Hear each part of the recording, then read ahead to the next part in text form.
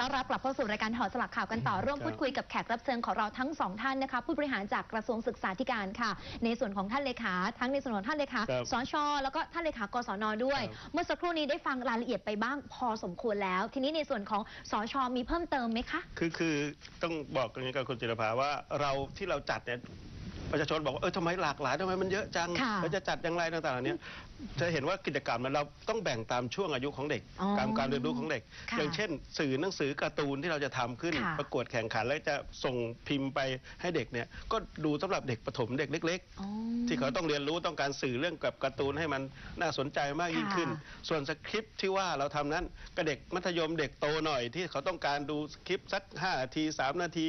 นะครับหรือชุดการเรียนการสอนหรือการเรียงความค่ะอ่าก็เด็กต้องเด็กโตหน่อยนะครับต้องมาให้เราเราที่หรือการเข้าค่ายดูตามความเหมาะดูสตามมความเหมาะสมของช่วงอายุค่ะของของเด็กนะครับค่ะสิ่งเหล่านี้มันก็จะทำให้ให้เกิดผลอืมแล้วถ้าเราบอกแล้วก็มันไม่เห็นแตกต่างเลยการเข้มข้นการดูหมายถึงว่าการปฏิบัติจริงไม่ใช่เราบอกว่าปฏิบัติแล้วเราต้องมีการติดตามประเมินผลอ่านนะครับนี่สำคัญเรามีการติดตามประเมินผลว่าผลที่ได้ของแต่ละ ช่วงวัยที่เราใส่กิจกรรมเหล่านั้นไปนั้นนะค่ะมันมีผลเป็นอย่างไรอืมได้ผลไหมนะครับ ค่ะเช่นความรักชาติศาสตร์กษัตริย์เนี่ยค่ะเรื่องสำคัญมากเลย อืม ความรักชาติถ้าเกิดถ้าเกิดเรารวมตัวเป็นอาเซียนแล้ว ค่ะ เยาวชนไทยรุ่นหลังๆ ไม่รักชาติเลย ค่ะจะเกิดอะไรขึ้น ค่ะประโยชน์ที่จะได้รับกับประเทศไทยที่จะมีเกิดขึ้นก็คงต่างประเทศก็คงมา หรือการเคยการมีการโพลออกมาว่า จากการวิจัยบอกว่าอยากโพลมาว่าเด็กไทยนั้น ส่วนใหญ่ที่บอกว่าโกงได้แต่ตัวเองได้ประโยชน์อืมอย่างนี้เป็นอันตรายอย่างยิ่งสำหรับประเทศชาติค่ะก็คือขาดความรักชาตินั่นเองค่ะนะครับถ้าเขาเห็นว่าความรักชาติมันมีประโยชน์ มีประโยชน์ต่อส่วนรวมมีประโยชน์ต่อประเทศชาตินะครับทั้งความรักชาติรักศาสนาพระมหากษัตริย์กษัตริย์เราเนี่ยค่ะไม่มีกษัตริย์ที่ไหนที่ดีที่สุดในโลกเท่ามหากษัตริย์ไทยค่ะนะครับฉะนั้นถ้าถ้าเรารู้ ถ้าประชาชนรู้ เยาวชนรู้ก็จะเกิดประโยชน์อย่างยิ่ง หรือเช่น การใฝ่หาความรู้มันขยันหมันเพียรอยู่ตลอดเวลา ค่ะ ซึ่งเข้ากับโลกยุคใหม่เลยใช่ค่ะ โลกยุคใหม่เพราะความรู้เกิดขึ้นทุกวินาที ค่ะ นะครับและถ้าเด็กไม่ศึกษาความรู้ ครูอาจารย์ไม่สามารถที่จะป้อนความรู้ให้ได้หมดตลอดเวลา อืม เพราะความรู้เกิดขึ้นใหม่ ค่ะ เดิมทีในอดีตใช่ ครูเป็นผู้องค์เป็นเป็นผู้ผู้ความรู้มอบให้ค่ะผู้มอบให้ตามที่ครูมีความรู้เท่านั้น ค่ะแต่ยุคปัจจุบันไม่ใช่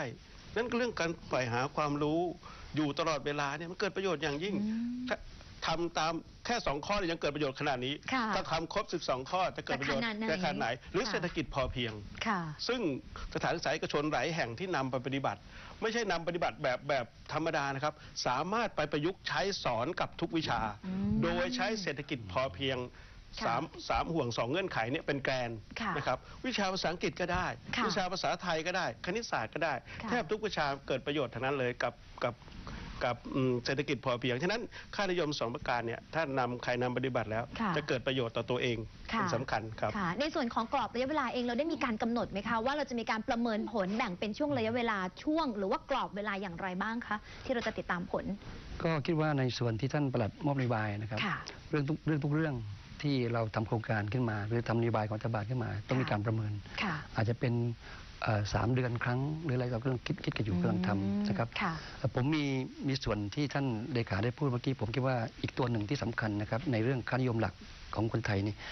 เรื่องความซื่อสัตย์เสียสละอดทนเนี่ยค่ะสังคมไทยขาดตัวนี้มากอืมครับ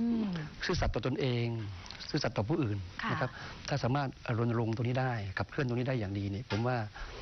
ความสงบสุขในชาติก็จะมีโดยเฉพาะเรื่องของการเสียสละค่ะนะครับ เพราะถ้าทุกคนมามีส่วนร่วมกันคิดถึงประเทศชาติเป็นใหญ่นะครับ อันนี้สร้างความตระหนักไม่ยากนะครับ เพราะเห็นอยู่แล้วว่าการที่ทุกฝ่ายมาร่วมเสียสละเพื่อชาติ หรือเสียสละเพื่อการทำงานเนี่ยความสำเร็จก็มีสูงค่ะเพ ราะฉะนั้นไอ้ส่วนสองตัวนี้ผมว่าก็เป็นเรื่องสำคัญนะครับค่ะ ในเรื่องของผมครับ ค่ะนะคะจริงๆแล้วคงจะไม่ใช่ปลูกฝังเฉพาะเด็กนักเรียนผู้ใหญ่ในสถานศึกษาเท่านั้น แต่ว่าผู้ใหญ่ด้วย แล้วก็รวมไปถึงบุคลากรทางการศึกษาทุกครับ คนในกระทรวงคือก็คืเหมือนค่ากัน ค่าค่านิยมที่เราเกิดค่ะขึ้นที่ที่คอสชให้มาเนี่ยเขาเขียนว่าไม่ใช่ค่านิยมสำหรับเด็กเยาวชนนะครับคนไทย ค่านิยมสำหรับคนไทย ทั้งหมดเลยครับคนไทยทุกเพศทุกวัยครับทุกเพศทุกวัน ค่ะแม้ว่าอายุเยอะก็ไม่ไม่ไม่สายที่จะมาเรียนรู้ค่านิยมอันนี้ ค่ะแล้วก็ทำปฏิบัติตัวให้เกิดประโยชน์ ตามค่านิยม 12 ประการนั้นครัค่ะบในส่วนของสชก็พร้อมที่จะขับเคลื่อนเต็มที่พร้อมพร้อมครับ เต็มกำลังสูบเลยครับใช่ไหมคะครับ ท่านเลขาค่ะมีอะไรอยากจะฝากถึงทางด้านของคือคุณผู้ชมไหมะครับคือการขับเคลื่อนเนี่ยอย่าอย่าคิดว่าเป็นของสถานศึกษาเป็นของหน่วยงานนั้นหน่วยงานนี้ต้องช่วยกัน ค่ะ พลังสังคมต้องช่วยกันทั้งหมดเลย เราเห็นแล้วว่าขนาดแค่ข้อสองข้อนั้นยังเกิดประโยชน์มหาศาลมากเลยนะครับ ค่ะเราก็ต้องช่วยกันผลักดันให้เกิดประโยชน์อย่างแท้จริง ค่ะ ให้ให้สู่เยาวชน สู่ประชาชน ให้ปฏิบัติตามค่านิยม 12 ประการนี้ให้ได้ครับ ค่ะค่ะ แล้วก็ท่านเลขาการุณมีปิดท้ายไหมคะฝาก เอ่อในส่วนความสำเร็จที่จะเกิดขึ้นค่ะ ก็มีหลายส่วนนะครับแต่ส่วนที่สำคัญคือแบบอย่างของผู้ใหญ่ค่ะ นะครับที่จะต้องเป็นต้นแบบในการทำในเรื่องของค่านิยมที่ดีๆของคนไทย อืมเพราะฉะนั้นถ้าผู้ใหญ่ทำดี ผมว่าเด็กเยาวชนก็จะเอาเขาตามจะเห็นแบบอย่างที่ดีอันนั้นเป็นอ่าส่วนที่สำคัญตรงนี้ก็ผมคิดว่า อย่างอื่นก็คือ สิ่งเหล่านี้จะต้องโดยเฉพาะการศึกษาจะต้องทำอย่างต่อเนื่อง ไม่ขาดตอนทำทั้งระบบเลย เพราะในภาพองค์รวมแล้วนี่เมื่อคนไทย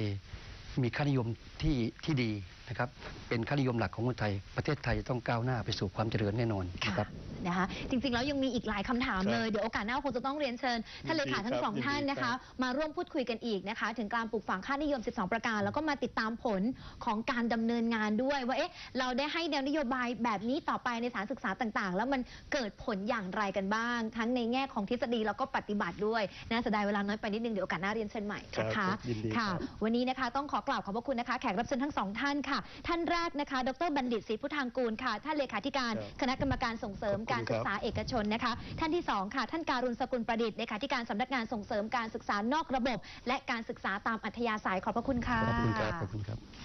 และทั้งหมดนี้ก็คือรายการถอดสลักข่าวในคืนนี้นะคะ หมดเวลาแล้วนะคะ วันนี้ดิฉันพร้อมกับแขกรับเชิญทั้งสองท่านและทีมงานต้องลาคุณผู้ชมไปก่อนนะคะ กลับมาพบกันได้ใหม่ในคืนวันพรุ่งนี้เวลาเดียวกันนี้ คืนนี้ขอบพระคุณมาก ๆสำหรับการติดตาม สวัสดีค่ะ